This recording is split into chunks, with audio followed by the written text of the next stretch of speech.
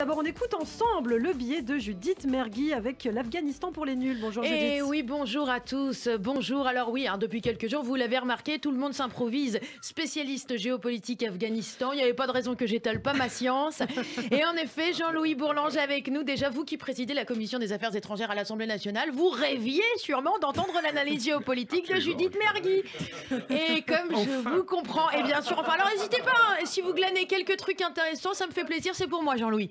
Alors l'Afghanistan, euh, selon moi, c'est beaucoup euh, de sable, voilà, beaucoup de montagnes, et ah oui, alors des turbans, beaucoup de turbans, hein. non mais alors tu blagues, hein, mais enfin tu sais que moi je regardais des scènes d'affrontement entre talibans et armée afghane, et je me disais, mais Boudu, comment ils savent sur qui tirer? Non mais parce que niveau dress code c'est quand même plutôt blanc, bonnet blanc, bonnet blanc, enfin turban, kaki, kaki, turban, et moi j'ai voulu du coup comprendre un petit peu mieux l'histoire hein, de ce pays, alors qui a été au début euh, du XXe siècle une région plutôt pacifique, Ouais. où là, je vous jure, c'est vrai, monsieur Bourlange, à tel point qu'on l'a surnommé même à un moment la Suisse de l'Asie. Bon, alors aujourd'hui, euh, Christophe Barbier, le seul point commun avec la Suisse, hein, c'est que les deux sont producteurs de grosses barres couleur chocolat. Et puis alors le pays s'est retrouvé en sandwich après ça entre l'Empire britannique et l'Empire soviétique. Et là tu demanderas à Christine Bravo, ben la vodka c'est plus fort que la bière. Donc, eh ben les soviétiques ont gagné et les britons ont filé à l'anglaise. Alors Jean-Louis, vous me direz, mais enfin pourquoi les Afghans eux-mêmes ne cherchaient pas à être eux-mêmes souverains sur leur terre? Eh ben parce qu'ils étaient beaucoup trop occupés à se zigouiller entre eux. En moyenne un coup d'état tous les 15 jours. Ça fait beaucoup quand même. Hein alors Habiboullah il se fait buter, Nadir Shah il se fait buter, Zader Shah il, se- bah, lui il était évincé par son cousin Mohamed Daoud. Et ben dans un petit peu comme dans une famille séfarade, on s'entend comme chien et chat. Voilà. Alors donc coup d'état soviétique en 1978, l'Afghanistan se réveille coco.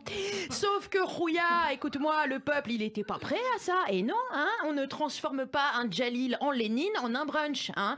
Alors oui, les généraux de Kaboul, eux, ils, ont kiffé hein, euh, se taper euh, euh, bah, les, Svetlana, grande blonde aux yeux bleus sur euh, fond de Smirnov. Mais enfin, dans les villages, ils ont pas compris le délire, vous voyez Et, eh bien, alors, sauf que qui est, alors, le petit quiz du matin, qui est à l'époque le grand bloc en face des Russes, pas content de voir tout le nouveau pays tourner rouge Bah dites-nous. c'est les Américains. Bravo, merci pour cette. euh, vraiment, vraiment, on, est, on, est, on est tous ensemble ce matin. Jean-Louis, je vous pensais plus réveillé. Alors, oui, il a beau faire, et oui, parce qu'il a beau faire 45 degrés à l'ombre dans les collines des Rats, et ben on est entre-temps en pleine guerre froide. Les Américains, pour calmer l'influence soviétique dans la région, vont envoyer plein de liasses de billets, vont jouer au Monopoly avec le Pakistan pour financer des groupes afghans anticommunistes. Tout plein de mecs, donc en turban, hein, pour changer, qui eux aussi veulent virer euh, les Russes et euh, revenir à un islam rigoureux. Et alors, les mecs, ils le disent déjà pourtant qu'ils aiment pas non plus l'Occident, mais ça, l'oncle Sam, il écoute pas. Et parmi les mecs, il y a, bah, même un certain Oussama. Et ça, ça m'a fait presque rire. Alors, parmi les loulous moudjahidines, hein, euh, un mouvement est né- émerge, les jeunes révolutionnaires appelés talibans, qui veut dire étudiants en théologie. Alors, oui, je sais, un jeune étudiant en théologie, tu imagines plus un mec à Jussieu avec sa carte imaginaire qui fume des roulés et moins un gars avec une calache en pendentif sur un 4x4 en train de tirer en l'air, je te l'accorde. Et alors, eux, leur pédagogie, c'était euh, atrocité. Vous voyez, donc on brûle, on viole, on lapide, on décapite. Alors tu peux le faire dans l'autre sens si tu veux et violer après avoir décapité, mais c'est moins attrayant, beaucoup moins. Entre-temps, eh ben, se crée euh, la petite association dynamique et joviale d'Al-Qaïda et en 2001, ils se lancent dans le BTP à Manhattan avec les Twin Towers. Les Américains, euh, eh bien, eux euh, vont traquer Oussama dans une grande partie de Où est Charlie dans les montagnes. Je, crois- je crois qu'on n'a plus le temps. Et, et alors, je sais pas si on a encore quelques secondes pour terminer. Mais en même temps, voilà, ils essayent de mettre en- place une jolie démocratie occidentale, vous voyez, avec une parité homme-femme et plein de subventions pour le faire. Dans les faits, finalement, c'est les élites à Kaboul qui vont surtout subventionner la fête du slip corrompu et du nez plein d'opium. Et puis les, bah, les USA remarquent que dalle, puisque eux, ils sont déjà en train de chevaucher l'Irak. Autant vous dire que dans les campagnes, eh bien, les villageois désabusés qui croient plus en rien sont presque contents de recroiser des talibans. Alors voilà, entre un barbu qui te terrorise mais qui te nourrit et un barbu corrompu qui t'oublie, eh ben tu, vas, tu aimes finir finalement par avoir peur.